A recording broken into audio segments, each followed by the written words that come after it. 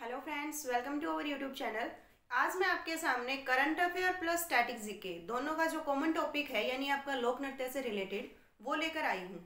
तो सबसे पहले देखिए, मैं आपको एक बात बता दूँ। अगर आपको रीजनिंग की तैयारी करनी है तो किसी भी टॉपिक की, किसी भी चैप्टर की अगर कोई प्रॉब्लम है तो आप प्लेलिस्ट में जाकर एक बार रीजनिंग वाली प्लेलिस्ट चेक कीजिए। वहाँ पे आपको हर चैप्टर बिल्कुल अच्छे तरीके से, बिल्कुल बेसिक से लेकर हाई लेवल तक का वो सारा चैप्टर आपको करवाया हुआ मिलेगा। तो और अगर आपको जैसे अभी आप सभी को पता है कि हमारा करंट अफेयर का टॉपिक वाइज सेशन चल रहा है। इसके अंदर हम लोगों ने योजनाएँ पहले कर ली है, उसके बाद जीआई टैग कंप्लीट कर लिए हैं, उसके बाद जो अपॉइंटमेंट्स है वो कर ली हैं और आज मैं आपके सामने लेकर आई हूँ लोक नृत्य से रिलेटेड ठीक है? तो बिना टाइम वेस्ट के शुरू करते हैं हमारी आज की क्लास तो सबसे पहले देखिए, आप सभी को ये रेड कलर में दिखाई दे रहा है। मैंने किन्हीं किन्हीं नृत्य को किन्हीं किन्हीं डांसेस को रेड कलर में सर्कल कर रखा है। तो ये आपके क्या हैं? ये आपके शास्त्रीय नृत्य हैं भाई। क्या है ये आपके? शास्त्रीय नृत्य। तो ये कितने होते हैं आपके? आठ होते हैं। कितने होते हैं? आठ। मोस्टली क्या करता है एग्जामिनर इन्हीं आठों में से घुमा फिरा के पूछता है। जैसे अभी पीछे हाल फ़िलहाल में सीजीएल के एग्ज़ाम हुए थे तो उसके अंदर, मेरी शिफ्ट के अंदर खुद पूछा गया था।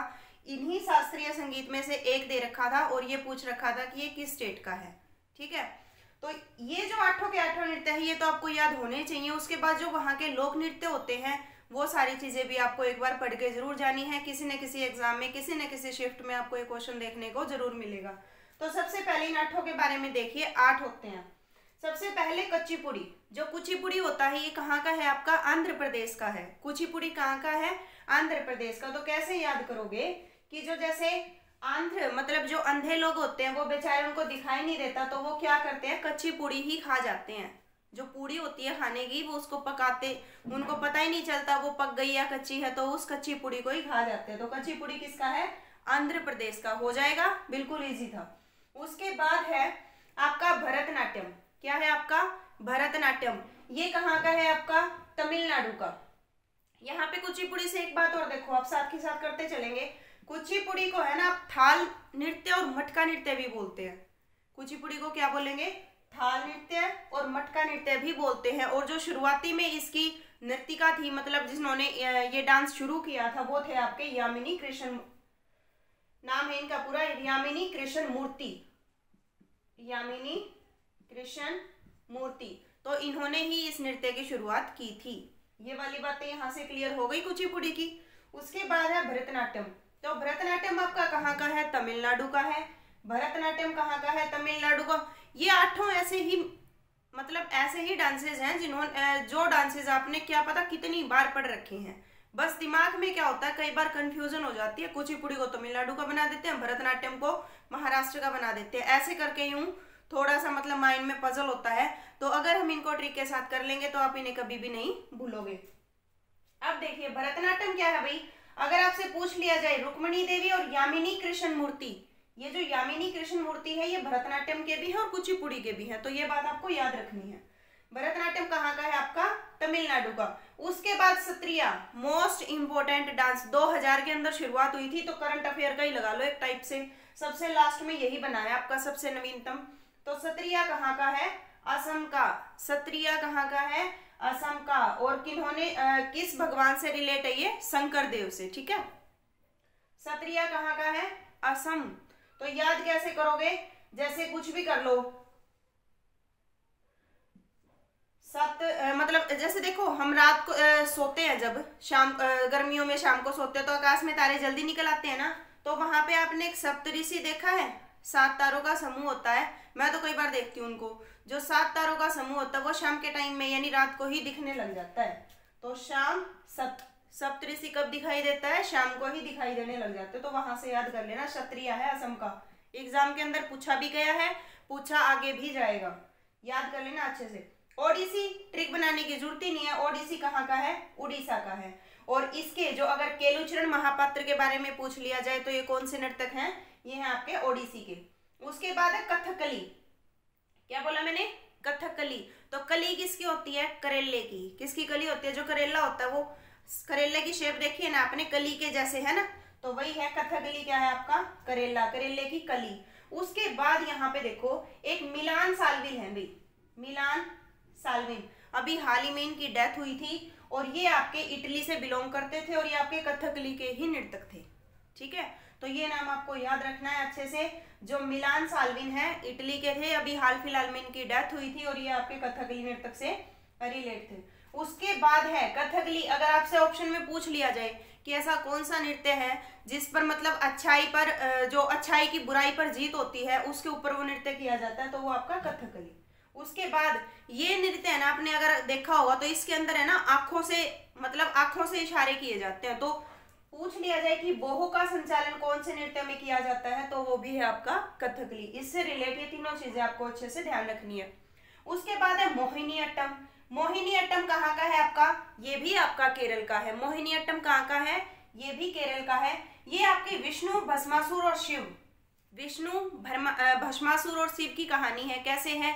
आप सभी जानते हैं कि एक बार भस्मासुर ने क्या किया था? शिव की तपस्या की थी ना? फिर शिव जी प्रकट हो गए थे। तो भस्मासुर ने क्या बोला था कि मैं आपसे एक वरदान चाहता हूँ? तो शिव जी कहा आपके है ही भोले बाबा। उन्होंने क्या बोला कि ठीक है, मांग तुझे क्या मांगना है? तो फिर भस्मासुर ने बोला था कि मेरे को एक ऐसा वरदान दे दो कि मैं जिसके ऊपर भी अपना यूँ हाथ रखूँ तो वो एकदम से भस्म हो जाए। ठीक है? तो शिव जी जी मान गए। तो उन्होंने क्या किया? उन्होंने वरदान दे दिया कि तू ठीक है, आज के बाद जिसके ऊपर भी हाथ रखेगा, वो भस्म हो जाएगा।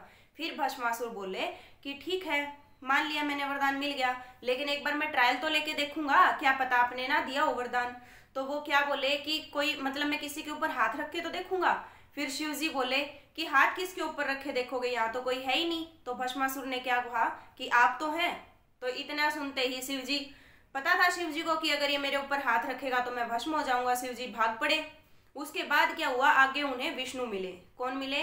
विष्णु। विष्णु को उन्होंने अपनी सारी बात बताई कि यूँ यूँ मैंने किसी को वरदान दे दिया और अब वो मेरे ऊपर ही उसका ट्रायल करना चाहता है। तो फिर विष्णु जी ने क्या किया? मोहिनी का रूप धारण करके और भस्मासुर के सामने चला गया।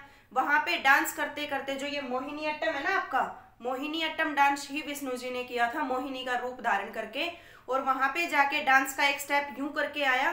तो भस्मासुर ने भी क्या किया? अपना हाथ यूँ सिर के ऊपर कर लिया और वो वहीं पे भस्म हो गया। और वहीं से उसका नाम क्या पड़ा? भस्मासुर पड़ा। इतना क्लियर है? तो बस यही है। मोहिनी अट्टम, किसने किया था? भगवान विष्णु ने किया था। मोहिनी नाम क्यों पड़ा? क्योंकि मोहिनी का रूप धारण करके डांस किया था। उसके बाद हेमा मालिनी श्रीदेवी और भारती शिवाजी। हेमा मालिनी श्रीदेवी और भारती शिवाजी। ये भी किस चीज़ के डांसर है? ये भी आपकी मोहिनी अट्टम की डांसर है। कर लोगे ये वाला याद? कोई दिक्कत नहीं है। उसके बाद है आपका कथक। तो कथक कहाँ का है भाई? ये है आपके उत्तर भारत का। जो ऊपर वाला एरिया है ना अपना ये वाला? तो यहाँ का कौन सा है? कथक है आपका। और पंडित बिरजू महाराज पूछ लिया जाए राधा कृष्ण पूछ लिया जाए रच्छू महाराज और सितारा देवी। ये चारों ही एग्ज़ाम के अंदर पूछे गए हैं। तो ये किस डांस से संबंध रखते हैं? कथक से। ब्रिजू महाराज राधा कृष्ण लच्छू महाराज और सितारा देवी। उसके बाद मणिपुरी भी नाम से पता चल रहा है। जैसे ओडिसी, उड़ीसा का था तो मणिपुरी कहाँ का है? मणिपुर का है। और झाबेरी बहन, जो झाबेरी बहन है ना, चार बहनें हैं ये। और ये चारों ही मणिपुरी डांस करती हैं। एक जैसा, ठीक है? तो याद रख लेना झाबीरी बहनों का संबंध का। कौन से डांस से है? मणिपुरी से। हो गए भी आपके? यही वाले थे आपके आठ डांस।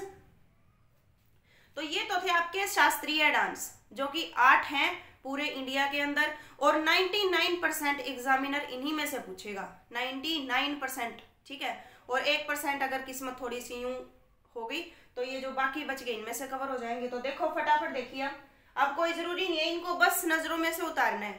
झारखंड के है भाई छऊ सरहुल कर्मा, डांगा, विदेशी और सोहराई। ये है आपके झारखंड के लोक नृत्य। उसके बाद उत्तराखंड के है कजरी, गढ़वाली, कुमायूं, झोरा चपादी और रासलीला। ये है आपके उत्तराखंड की। उसके बाद आंध्र प्रदेश का कुचिपुड़ी, आपको हंड्रेड एंड टेन परसेंट याद रखना है। घंटा मरदाला, कुम्मी, छड़ी सिद्धि मधुरी। ये है आपके आंध्र प्रदेश के। उसके बाद छत्तीसगढ़ के। पंडवानी पंडवानी नृत्य याद रखना भाई। पंडवानी नृत्य याद रखना, छत्तीसगढ़ का है। पूछ सकता है एग्जामिनर पंडवानी, छत्तीसगढ़।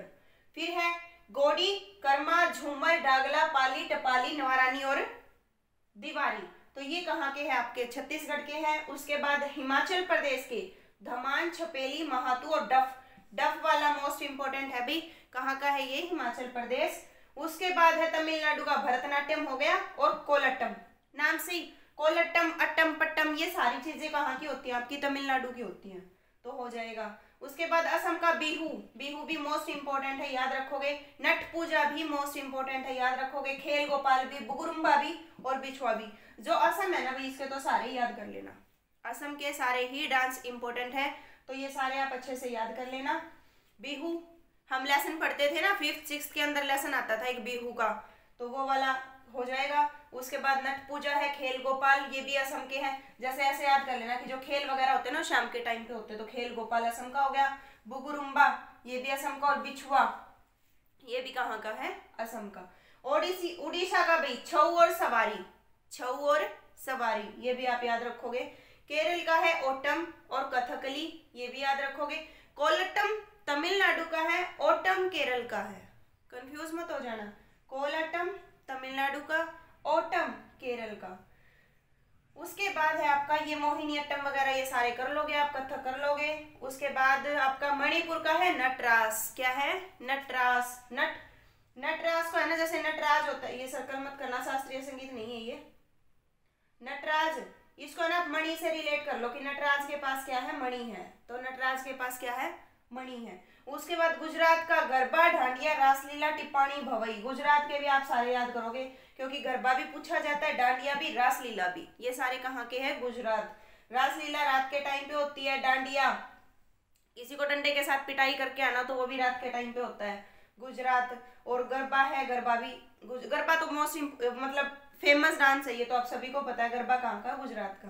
राजस्थान का, झूमर। राजस्थान का है गनगौर और पनिहारी, ये सारे किसके हैं? राजस्थान के। ये तीन चार स्टेट हैं, इनके तो आप सारे ही याद करके ले जाओ तो बेस्ट रहेगा। उसके बाद कर्नाटक का यक्षगान मोस्ट इंपोर्टेंट कर्नाटका में और एक भी नहीं लेके आई, लेकिन यक्षगान एग्ज़ाम में आया भी है इंपॉर्टेंट भी है। तो इसीलिए यक्षगान कहाँ का है? कर्नाटक का। यक्षगान गान। कहाँ पे? जैसे किसी चीज़ गाना सुनाना तो कहाँ पे जाके सुनाओगे? कानों में जाके सुनाओगे ना? करना। कानों में जाके सुनाओगे गान, गाना। यक्षगान कर्नाटक का। नागालैंड का है चोंग। नागालैंड का क्या है? चोंग। पंजाब के डफ और भांगड़ा भांगड़ा का सभी को पता है, और धमाल और गिद्दा गिद्दा भी सभी को पता है, पंजाब का है। उसके बाद है गोवा का मांडी। ये मंडी वाला है ना भाई ये एक बार पूछा गया था एग्ज़ाम के अंदर तो गोवा का मांडी नृत्य ये भी आप अच्छे से याद करोगे। अरुणाचल प्रदेश का है मुखोटा और युद्ध। अरुणा को क्या कह रहे हो कि अरुणाचल मुखोटा पहन के युद्ध करते हैं। अरुणाचल मुखोटा पहन के यहाँ युद्ध करते हैं। तो मुखोटा और युद्ध कहाँ के अरुणाचल प्रदेश के महाराष्ट्र का लावणी और नकटा। ये दोनों भी इंपॉर्टेंट है। लावणी, जैसे सीरियल वगैरह देखते हो, कोई मूवी वगैरह देखते हो तो ये लावणी, ये तो वहाँ पे अच्छे से मनाया जाता है ना? ये नृत्य तो किया जाता है। और नकटा है, ये भी कहाँ का है? महाराष्ट्र का है। तो ये सारे लोक नृत्य आपके सामने थे। अगर नृत्य से रिलेटेड कोई क्वेश्चन एग्ज़ाम में आता है तो हंड्रेड एंड टेन परसेंट इन्हीं में से देखने को मिलेगा। तो यहाँ तक अगर वीडियो अच्छी लगती है तो इसे शेयर करें। ज़्यादा से ज़्यादा लोगों तक पहुँचाए। यहाँ तक वीडियो देखने के लिए thank you have nice day